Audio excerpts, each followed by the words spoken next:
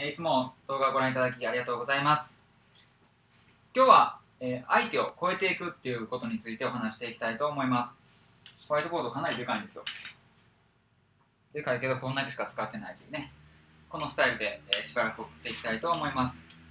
で相手を超えていくっていうのはどういうことかってことなんですけども、よくね、あのラポールを築け、ラポールを築いて、えー治療に当たれっていうことが、ね、言われてますけども、本当でしょうかっていう部分なんですね。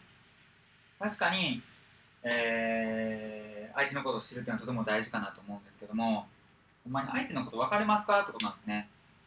まず無理ですよね。だって別人やもん。僕絶対分かんないです、相手のこと。うん。だって奥さんのことですら分からへんのに。で、相手のこと分かったら、本当にお金儲けできるんかっていう部分なんですね。できないですよね。例を一つ出すと、あなたの娘さんを誘拐しました。今すぐ2億円振り込んでください。ってなった時にどうですか？それで2億円振り込まれますよね。まあ、それで警察に捕まってしまうかもしれないですけども、実際そこでお金っていうのは発生してくるじゃないですか。これのどこにラコールが気づかれてるんかっていうことですよね。なので、えー相手と、こう、なんていうんですか？相手のこと分かるじゃなくて、相手を超えていく必要があります。相手を超えていく。例えば、相手が今の問題を3回直してほしいねって言ったら、1回で直していくとか。相手が望むそれ以上のものを提供して、それを相手に釣り込んでいくんですね。どんどんどんどん相手を超えていく。